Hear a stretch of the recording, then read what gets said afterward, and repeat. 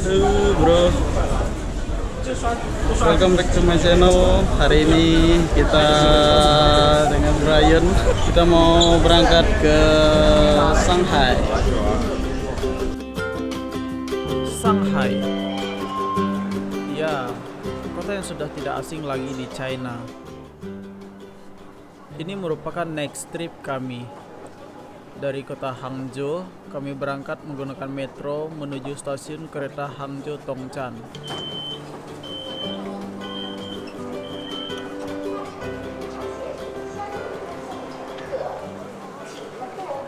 Setelah turun dari metro, kami langsung menuju ke lantai atas untuk membeli tiket kereta.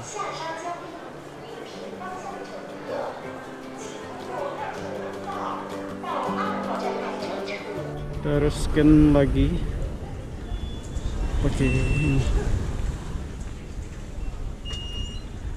tadi kita naik metro itu 4 yuan.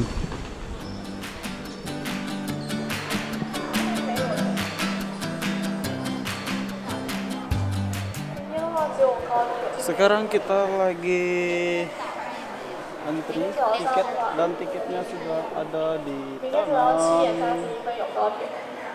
ini. Untuk trip kali ini kami berangkat dari kota Hangzhou pada malam hari.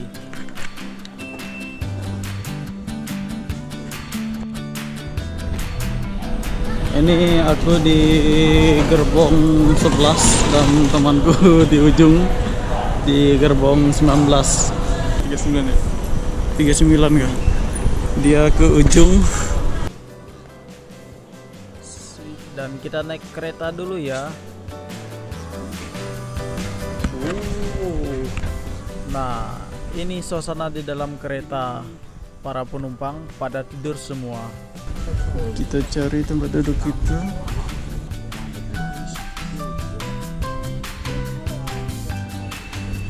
Ya, eh only. Cili hmm. Faiz dan sekarang kita udah dapat tempat duduk. Ini orang lagi pada tidur loh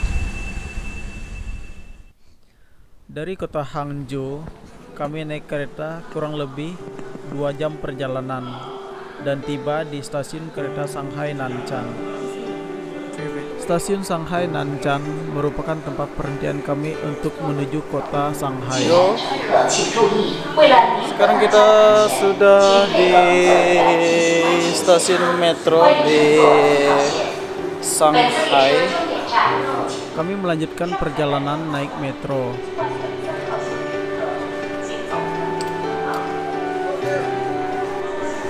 Ini metro pertama kita masuk tadi itu penumpangnya masih belum ada. Masih sepi bro dan kami turun tidak jauh dari tempat tujuan pertama kami.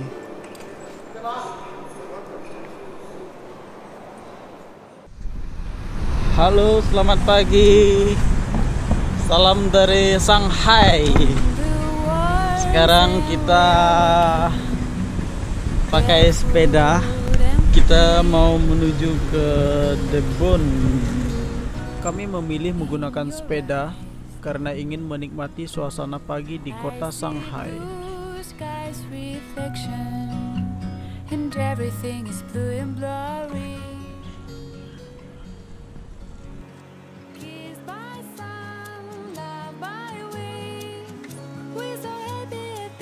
sekarang kita sudah sampai di tempat wisata yang pertama yaitu apa ini? Kita lihat sama-sama.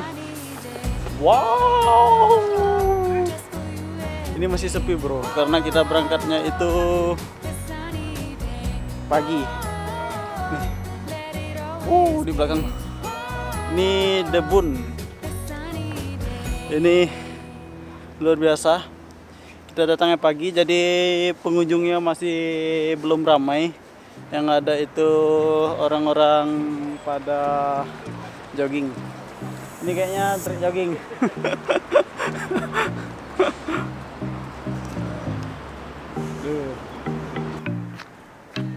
Ini menara TV tower ini kalau malam hari itu keren bro. Banyak lampu-lampu. Nanti malam aku datang lagi ke sini kita lihat sama-sama seperti apa malamnya di sini. Mungkin lebih ramai orang kan. Ini kita lagi singgah di tepi jalan sarapan sambil mau nunggu bis. Dan kita dihampiri kakek-kakek. Dia katanya umurnya itu 88 bro. Wow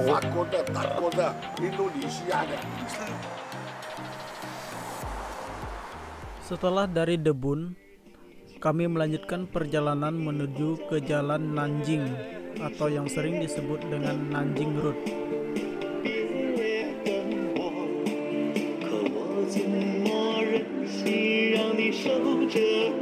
Sekarang kita sudah berada di jalan Nanjing atau Nanjing Road. Kita lihat sama-sama ada apa di sini. Nanjing Road merupakan pusat perbelanjaan bagi pengunjung-pengunjung yang datang ke Shanghai. Di Nanjing Road kita bisa menemukan berbagai macam kuliner khas Shanghai dan beberapa souvenir bisa kita temukan di sana. Ternyata di sini banyak kuliner-kuliner tapi siang hari kayaknya tidak terlalu ramai, Bro. Jadi nanti malam kita mau coba lagi datang ke sini, kita mau lihat seperti apa sih keramaian di malam harinya dan kita mau lihat-lihat juga di di tempat yang tadi kita pergi di Debun. Kita mau lihat lampu-lampu malam di sana seperti apa. Dan saksikan terus perjalanannya hari ini. Dadah! Sekarang kita udah sampai di penginapan kita. Dan penginapan ini lumayan jauh dari tengah-tengah keramaian itu tadi kita naik metro itu sekitar 40 menit. Setelah itu naik bis lagi 10 menit. Tapi tempatnya lumayan asik sepi. Nanti kita lihat sama-sama gambarnya seperti apa. Tadi 108 kita lihat kamarnya seperti apa ini. Wah. Wow. lumayan juga. Wow ada dua bed wow ada TV kamar mandi. Wuhui. Kamar mandinya teng teng. Oke sampai jumpa nanti malam. Dadah.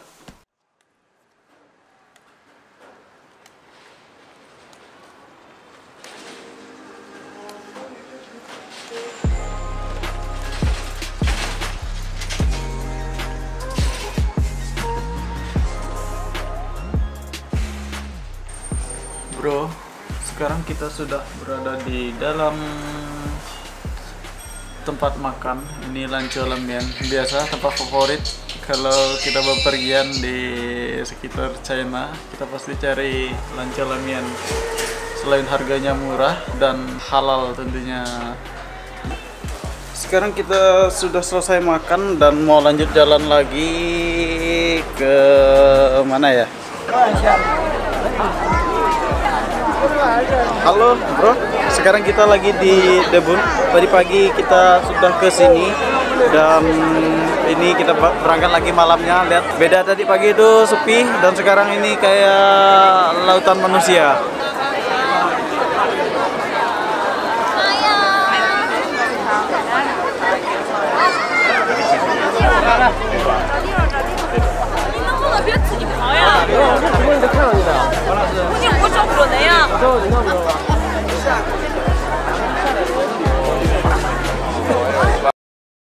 Halo bro, sekarang kita sudah kemas-kemas dan mau check out hotel.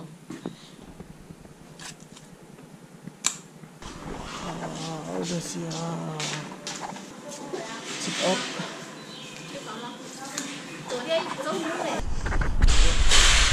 Udah dikembalikan kartunya. Udah tinggal bilang oke. Okay. dan kita lanjut lagi.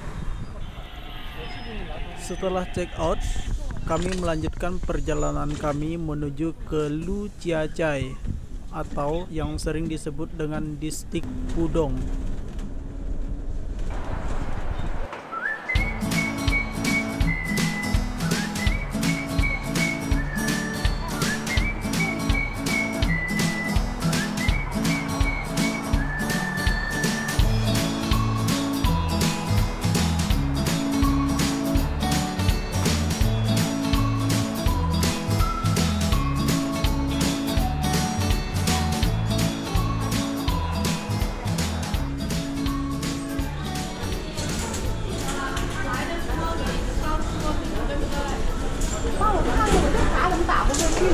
哎哎，这这个为什么还不能用啊？可以啊，不可以。你把蓝牙关一下，APP 退出一下，重新再哦你过来了，请往前走。把刚刚刷了，让你再走过来。哎，你好，汽车方面要十号线豫园站，你两号线坐到南京东路，下来转十号线。哎，这就是要出口的了。当然。这里只有两号线，你坐到南京东路转十号线就可以了。好。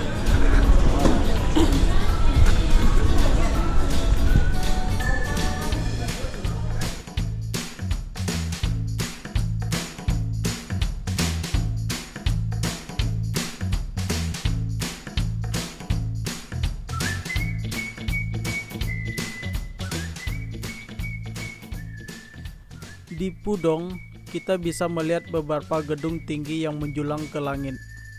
Salah satunya adalah gedung Shanghai Tower yang saat ini merupakan gedung tertinggi kedua di dunia. Sekarang kita mau keliling di daerah gedung-gedung tinggi di ini yang ini ini gedung tertinggi di Shanghai. Selain gedung Shanghai Tower yang dengan ketinggian 632 meter, masih ada beberapa gedung tertinggi lainnya seperti Jinmao Tower dengan ketinggian 420 meter dan gedung Shanghai World Financial Center. Sekarang kita sudah berada di area Oriental Pearl TV Tower of Shanghai. Gedung Shanghai World Financial Center merupakan gedung tertinggi keempat di dunia untuk saat ini dengan ketinggian 492 meter. Sekarang kita berada di dalam feri penyeberangan. Kita nyebrang melewati sungai Huangpujang.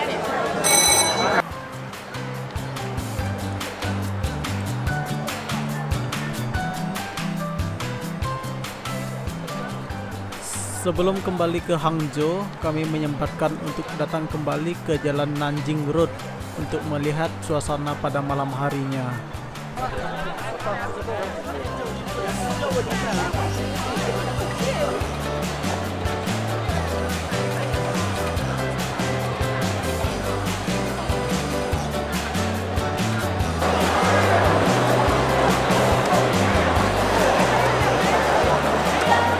Sekarang kita berada di Jalan Nanjing Road dan suasana malamnya cukup ramai. Ya, sebentar lagi kita akan pulang ke Hangzhou. Sampai jumpa di video-video berikutnya.